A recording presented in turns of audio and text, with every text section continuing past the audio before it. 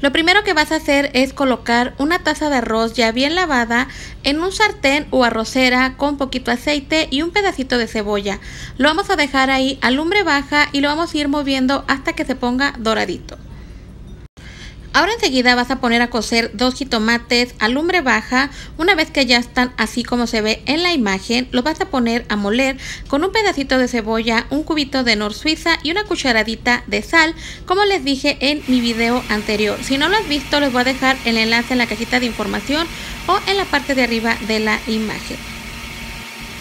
De esta manera es como te tiene que quedar a ti el arroz, ya que como es un arroz rojo, regularmente lo que tienes que hacer es dorarlo, que quede cafecito, así, no quemado, chicas, cafecito así doradito bajito para que así quede un sabor bien rico y les quede muy bien su arroz rojo.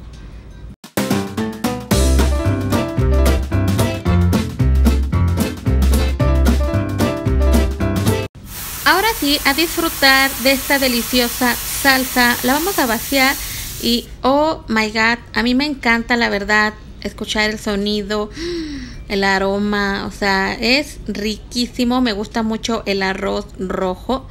Ahora enseguida, una vez haber dejado así mi salsa y que esté hirviendo, voy a colocar dos tacitas más de agua. Como les dije en el video anterior, son tres máximo, depende del tamaño de tu taza.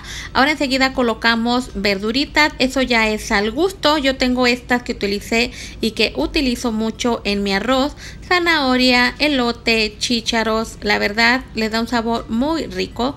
En esta ocasión no voy a colocar huevitos. Lo vas a dejar a lumbre baja y lo vas a tapar. Lo dejas alrededor de una media hora dependiendo de tu estufa. Y listo chicas, así es como me ha quedado mi arroz rojo. Lo acompañé con un poquito de filete de pollo asado, verduritas, brócoli, coliflor, jitomatito, aguacatito y papitas. Así es que espero que les haya gustado mucho este video. Si es así, las invito a compartir, a regalarme su like y a comentar. Les mando demasiadísimos besos y nos vemos muy pronto en un próximo video. Me platican si les gustó, cómo les quedó su arroz.